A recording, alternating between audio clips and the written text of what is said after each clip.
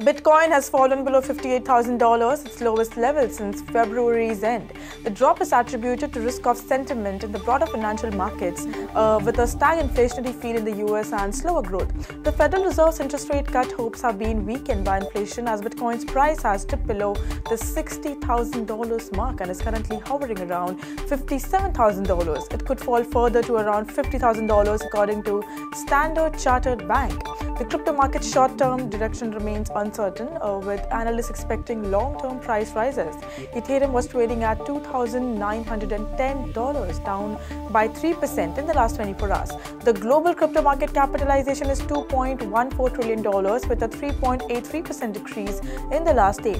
The total crypto market volume over the last 24 hours is $105.6 billion, a 16.53% increase.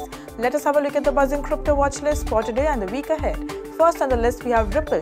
Ripple has partnered with SBI Group and Hashkey DX to introduce innovative blockchain solutions to the Japanese market, marking a significant milestone in the adoption of XRP ledger technology in Japan's corporate landscape. Hashkey DX, uh, known for its success in China, is set to introduce XRPL to Japanese businesses.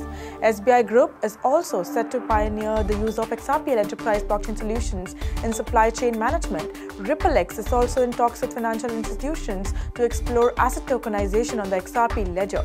Markus Infanger, a senior vice president of XRPL uh, RippleX, sees a bright future for tokenized markets with potential values exceeding $16 trillion.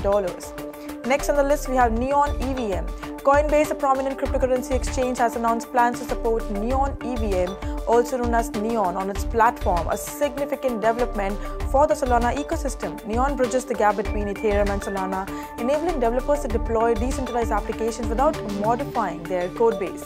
It is compatible with the Ethereum virtual machine and the underlying Ethereum dApps technology.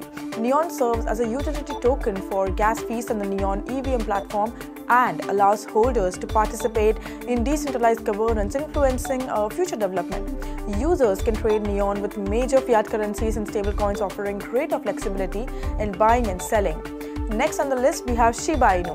Shiba Inu, a dog-themed cryptocurrency, experienced a 268% surge in whale activity due to price rebound. Large transaction volume increased by 268.2% in the last 24 hours, with large transactions worth over $100,000 reaching $98.12 million. Whales capitalized on the opportunity, executing large transactions.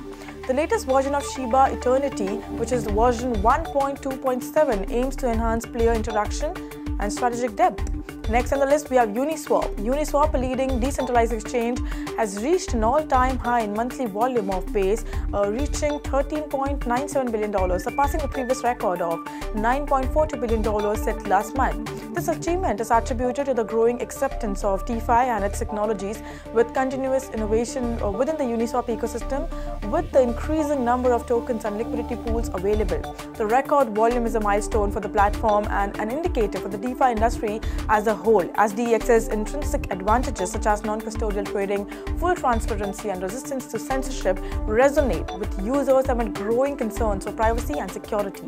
Next on the list, we have Fantom. Fantom, layer 1 blockchain network, is aiming to create a safer environment for meme coin projects in the $50 billion sector.